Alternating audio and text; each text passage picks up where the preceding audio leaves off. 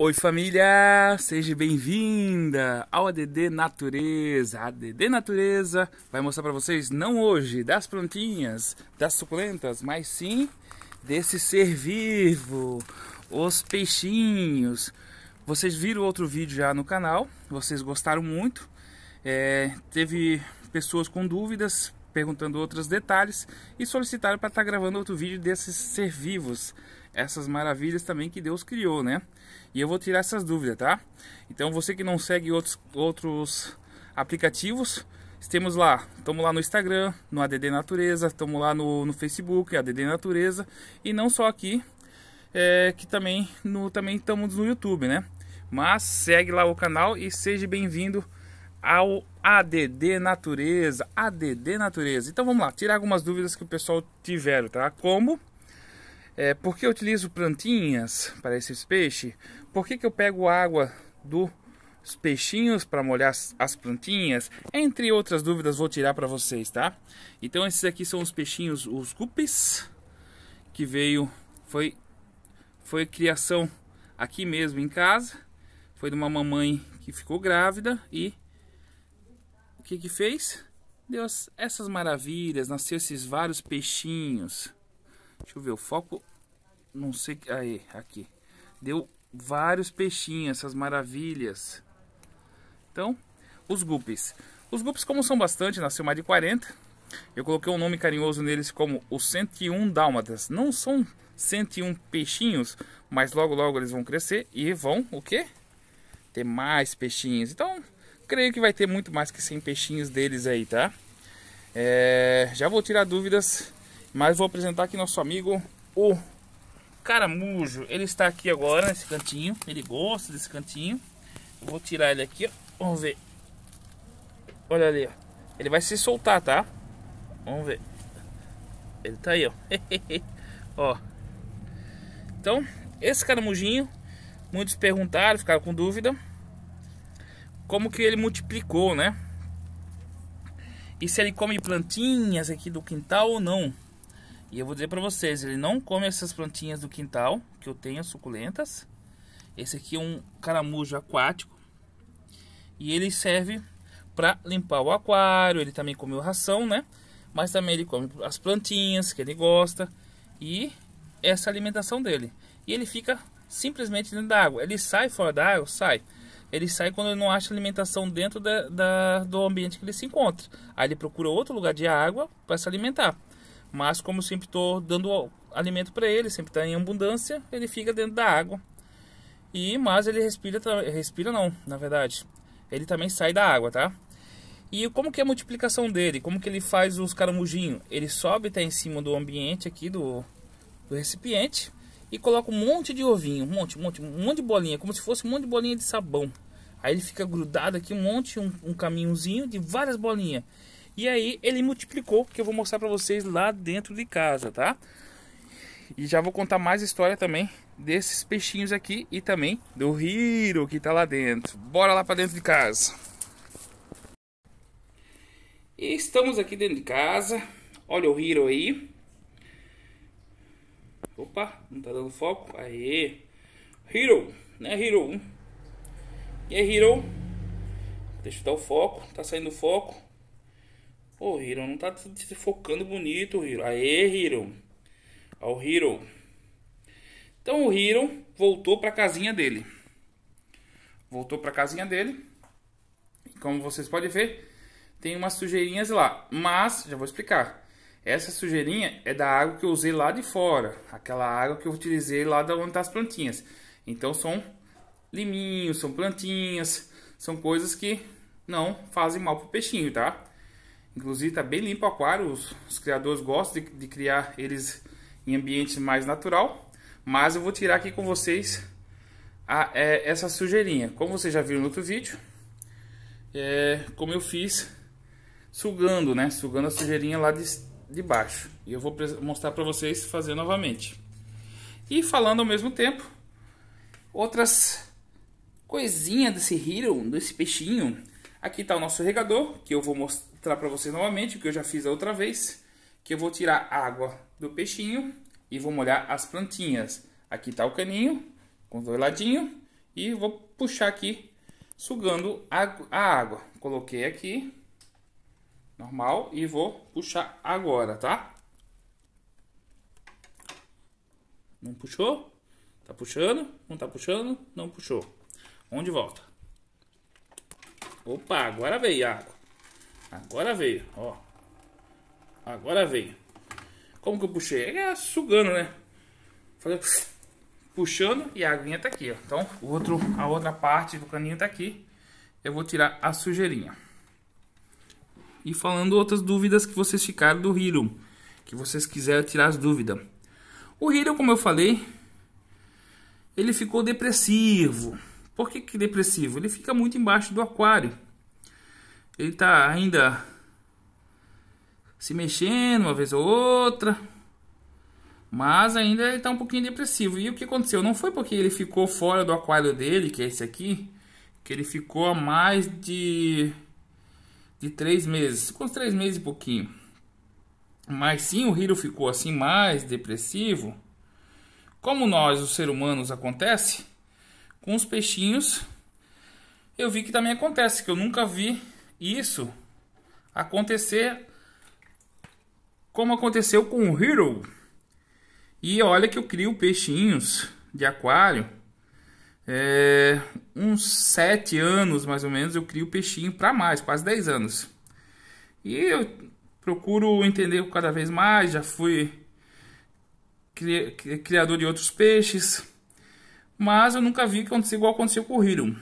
O Hiro é um peixe beta, que ele gosta de ficar sozinho, não gosta de ninguém no aquário, então por isso que ele está sozinho no aquário. Então ele não está depressivo porque ele está sozinho aí.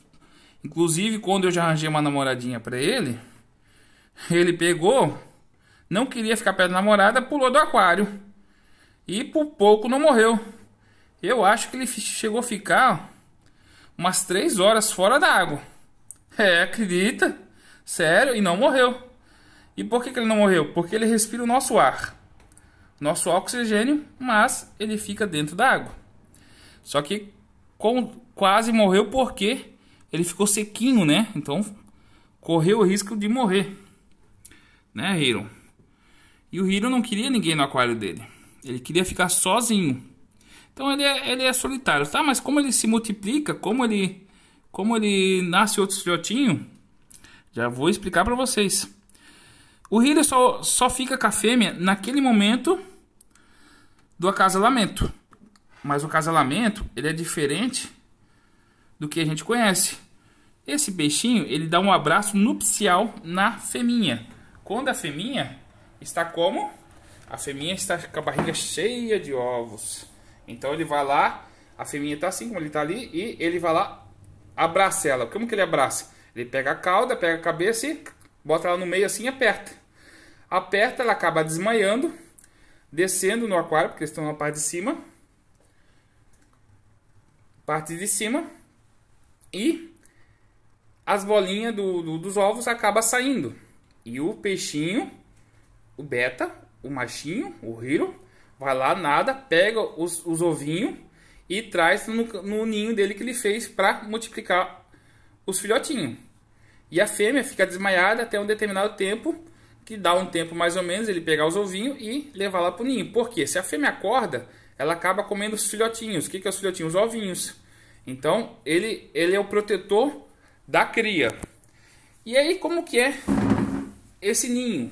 Ele faz em cima do aquário ou do, de um local, de uma folhinha da natureza, ele faz um monte de bolinha. Várias bolinhas.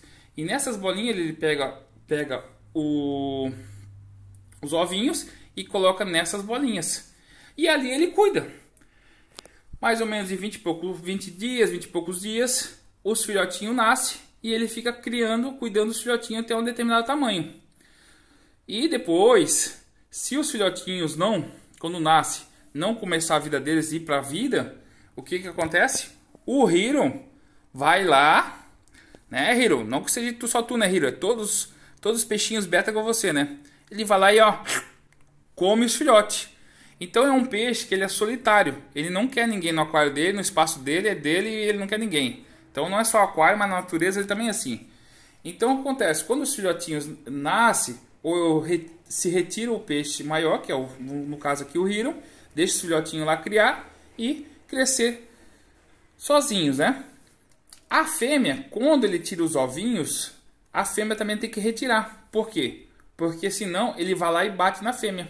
Porque ele não quer a fêmea ali no, ambiente dele. Porque a fêmea está querendo comer os filhotes. Está querendo comer os ovinhos antes de nascer. Então ele pega, ó, bate na fêmea, a fêmea sai, sai, vai, vai para outro lugar, vai, vai sair daqui de perto. Então é fundamental deixar ele sozinho. Eles não gostam de ficar com alguém. Isso os beta macho, né? Porque as fêmeas, as fêmeas ficam com outras fêmeas. Né, Hiro? As fêmeas não tem problema, elas ficam. Mas os machos não gostam de outros de outras de outros machinhos ou também a fêmea que fique mais tempo com ele. Então ou ele mata porque ele não quer ninguém, ou a fêmea sai de perto dele. Então como ele está num ambiente não natu da natureza, a gente retira para ele não é, machucar a fêmea e poder criar o filhotinho, né? E mesmo que não tenha filhotinho, ele fique sozinho aí, que é como o jeito que ele gosta. Aqui está os filhotinhos do caramujo que eu mostrei lá para vocês lá embaixo. Olha só. Tá saindo, não tá dando foco? Tá, o que que tá acontecendo? Aí. Tá os filhotinhos, cada pontinho desse aqui, ó, ó, é um filhotinho, é um caramujinho. Então, quando nasceu os filhotinhos, eu coloquei nesse aquário. Eu não posso sugar ainda, porque esse aqui é comidinha deles que eu coloquei. São plantinhas, são ração. E eles acabam comendo. E também não posso sugar com o mesmo ferramenta que eu fiz aqui, com a mangueirinha isso aqui. Porque senão eles vão vir na mangueirinha e tchau para eles. Então eu deixo aí até eles crescer e logo eles vão lá para fora também junto com o papai. Ou a mamãe, né? Então é isso aí que eu cuido do peixinho. Agora eu vou mostrar para vocês a água do peixe que eu faço, tá? Que eu já mostrei no outro vídeo. Aqui eu tenho algumas suculentas. O que, que eu faço? Eu molho. Ó, problema nenhum, ó. Ó, molho as suculentas. E isso aqui gera o que? Um adubo para minhas plantinhas. Como suculentas, como outros tipos de plantinha, como orquídea, e também as minhas hortaliças que eu vou mostrar para vocês. Isso aqui é minhas hortaliças que eu estou cuidando, tá nascendo.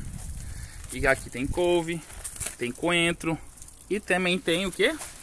Tem tomate, né? Tomatinho. E aí eu utilizo essa água do aquário nas minhas plantinhas. E é um bom adubo para elas. Isso essa aguinha que fica no aquário é harmônia, que é a parte de baixo do da parte da água do aquário, né? E aqui estão os peixinhos que estavam antes no aquário aonde o Hiron se encontra, que é os guppies. Estão bem adaptados, estão bem contentes, porque estão um espaço maior, tem bastante plantinha e estão curtindo aí. Olha só que legal. Então, muito obrigado a você que ficou no vídeo até aqui. Muito obrigado a você que segue o canal do ADD Natureza. Até o próximo vídeo. Obrigado pelo like que você deu. Compartilhou com o seu amigo, com a sua amiga, para ver essas belezuras, essas belezas que Deus criou para nós, da natureza. E também você que sempre está comentando aí, seja uma carinha de um sorrisinho ou qualquer outro comentário, muito obrigado, porque todas essas atitudes ajudam muito a divulgação do canal. Muito obrigado, até o próximo vídeo. De coração, fique com Deus. Um ótimo dia, uma ótima noite, um bom final de semana e uma boa semana, independentemente do horário que você está vendo o vídeo. Tchau!